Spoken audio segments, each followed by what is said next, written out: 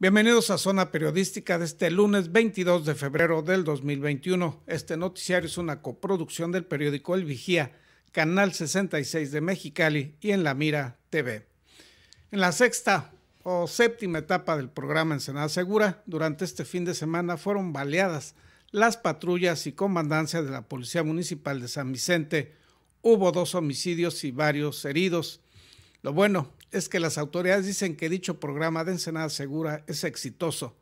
Imagínense cómo estaríamos si estuviera fallando.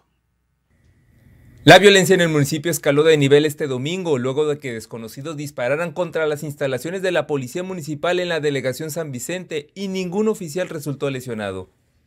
Este atentado se registró alrededor de las seis horas en el exterior de las oficinas municipales del poblado, donde la línea de emergencia reportó disparos de arma de fuego. Los muros de las instalaciones municipales, así como vehículos oficiales y particulares, quedaron con distintos orificios producidos por proyectiles de arma de fuego, al parecer de grueso calibre. Tres patrullas de la corporación resultaron con múltiples daños en carrocerías y ventanas por los impactos, de igual manera un vehículo particular que se encontraba estacionado en la zona al momento del ataque. La Dirección de Seguridad Pública Municipal no reportó personas lesionadas por estos hechos violentos. Antes de esta agresión se registraron distintos ataques en la zona urbana del puerto. El primero ocurrió alrededor de las 2.30 horas del domingo en la avenida Ruiz entre las calles segunda y tercera de la zona centro, en el interior de un estacionamiento donde la central de emergencias reportó disparos de arma de fuego.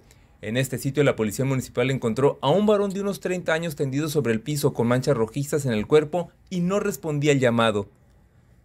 La Cruz Roja halló que la víctima mostró una herida a la altura del tórax producida posiblemente por proyectil de arma de fuego y ya no contaba con signos de vida.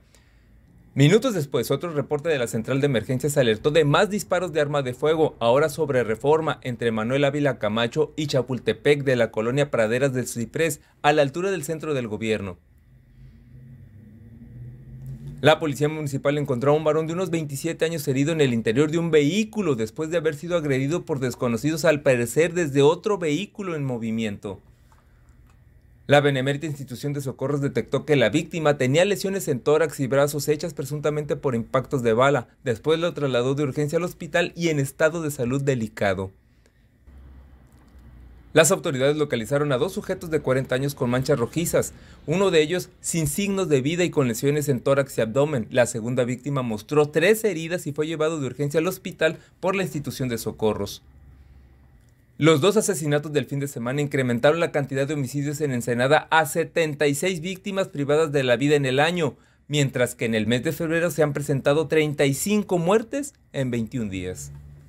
Para la Mira TV, César Córdoba.